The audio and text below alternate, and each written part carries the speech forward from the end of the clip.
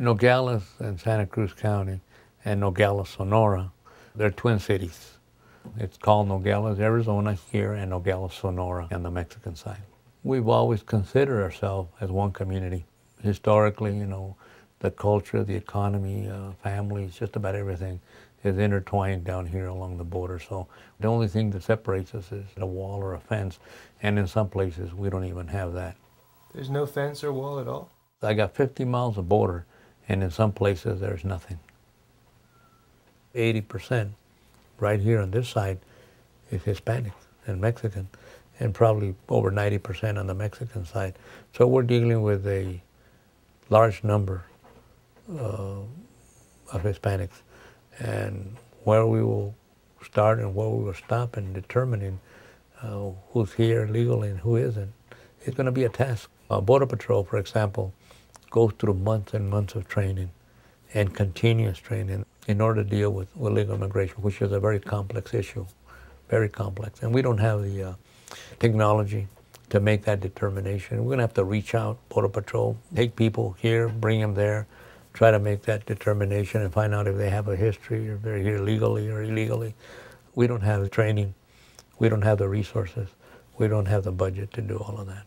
The state of Arizona and Arizona Post, that's kind of like a governing board for certification of peace officers here in, in, in Arizona, is going to produce a one-hour video, one hour, to teach us and show us exactly how we're going to implement this law without racial profiling. It's about 45,000 people in the Arizona side here of Santa Cruz County, about 300, 400,000 people on the Mexican side. That's a third world country. You know, there are big issues that they're grappling with over there. You have a homicide just about every day there.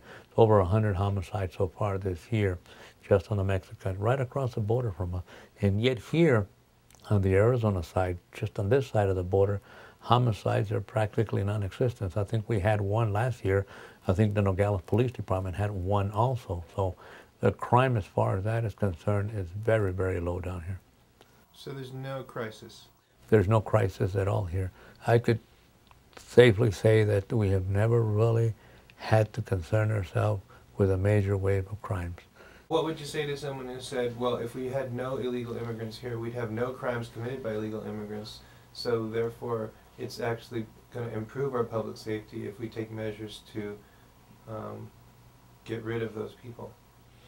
Well, I mean, uh, yeah, you can start there, and then of course you can start categorizing other people and eventually get rid of crime altogether and get rid of everybody. But I don't think the illegal immigrant is, is, is a major factor in, in, these issues of crime. I don't think so. In a lot of cases, they may be victims of it, uh, but I don't think they're perpetrators. Yeah, you're going to have perpetrators, whether they're here legal or illegal. One of the things that I have said is that we don't need Senate Bill 1070 to deal with that.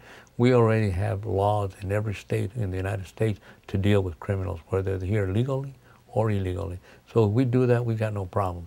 Leave the people that are not harming anybody, actually contributing alone, and spend all your resources, spend all your efforts on the criminals. History proves that having good relationship with the community is your best law enforcement, you know, uh, and, and crime prevention tool you can have. We have been working for years trying to set up a relationship with the communities especially here with the Hispanic community. Uh, and that's going to deteriorate, obviously, because they're going to look at us differently. We're not going to be the regular law enforcement officer that they can call that, that will not ask them for their immigration papers and will be there to help them. Now they'll probably be afraid to call because maybe a relative, a friend, an acquaintance, or somebody that happens to be there is here illegally.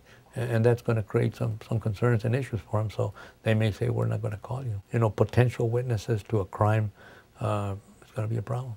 So let's say you were investigating a crime and there was a witness and they refused to show you identification. What would you do then? Well, there's obviously a law that people have to identify them themselves. Uh, but, you know, we, we would probably be forced to investigate it further and find out exactly uh, who they are, even if we have to detain them to make that determination. So it, it's going to be a complicated issue for, for law enforcement. For example, if, if that situation happened to be a, a U.S. born uh, individual that just refuses to cooperate, it's going to be very difficult, and very complicated, and I think we're going to be tested. Our officers are going to be tested by some of these people, and and that's where I'm afraid of because that's where you get your lawsuits. If you don't do it, you get sued. If you do it and you do it wrong, you get sued. So you know, it put us in a pretty precarious uh, situation as far as law enforcement. If you are sued, who pays for the legal defense? Does it come out of your budget? It or- comes out of the county. The county is uh, in an insurance pool of smaller counties, and they contribute to that. And anytime they get sued, they get represented. And of course, it costs the county for that representation. And then if we if we lose a lawsuit, it also the insurance uh, pool will pay for it. But then uh, on the other end, the county will pay a little more in premium. So yeah, eventually the county will pay for it. I see. And so, does that mean that taxes will go up, or you just kind of cut back on other things? It could be both. We may not have enough to be able to you know, increase taxes because the only thing we can do is increase increase property tax along here. That's all we can do. Um, probably curtail, uh, reduce services. That's about it. So that's why I'm saying that you know this we cannot afford Senate Bill 1070. We cannot afford it. Uh, I know that some organizations are for it. Uh, some police organizations are for it, but I think not being managers uh, like the chiefs and the sheriffs, they don't realize the, the implications, the financial implications. If we spend more money in detention, care, hospitalization, prosecution, defense, uh, yeah, it's going to hurt the whole county, just not law enforcement. It's going to hurt the whole county. So, a solo deputy encounters somebody who is definitely from Mexico, but he's not sure if they're just visiting or they're here sneaking across the border, and if they're visiting, are they doing so legally? Uh, what's the next step? Well, try to make a determination if they are here legally or not. And if they're not, then we have to take some type of action. Either contact Border Patrol so that they can take in uh, custody, or like I indicated, my biggest fear is that Border Patrol will say, no, you got them, you keep them, you find out. That, that's our concern. Our concern is having to spend all the time and all the resources in trying to determine if that person here is legally or not. And, and we could, one of our deputies could come across 15 at any given time up in the valley or on the rural areas. That's going to take a lot of time. Now, if he's going to transport them somewhere, you know, if he's going to transport them here, we're going to have to send, I don't know how many squad cars out there or vans to bring them up, bring them in here. It's just a humongous problem. Well, how many deputies do you have patrolling at any given time? Usually it's about five or six max per shift for 1,240 square miles and 50 miles of border, and having to deal with, uh, you know, populated areas like Rio Rico, Sonoita, Elgin, Tubac, Tumacacori.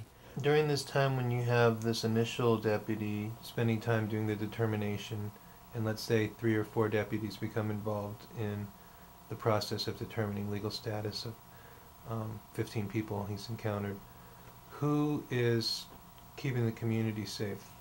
Who's covering for them? Well, if we don't have anybody, there's nobody else. I mean, you could probably have Border Patrol uh, out there uh, in case something comes up, you know, that they may help out and assist and back us up. But that's not their responsibility, and that's not their priority. And they don't have any authority over that. So, you know, it all leaves it up to local law enforcement. So if we're tied up doing federal work, and the federal agencies, in particular Border Patrol, cannot or will not take those individuals, we've got a big problem. We got a humongous problem. Well, what if um, the governor gets reelected and she says, "Well, I'm gonna raise taxes enough so that you have 18 or 20 deputies at any given time, so half of them can do immigration law, and the other half can do public safety." Yeah, that's that's uh, ludicrous. That's crazy. that is that is really crazy. I don't I don't think anything like that would fly. Especially, of course, it'd have to be a state tax. They already raised the state tax by one cent. It's not fair to the taxpayers. It's not fair to law enforcement. Because law enforcement wants to do the best job for the people that reside and visit this community. And dealing with immigration uh, is going to be a tremendous distraction.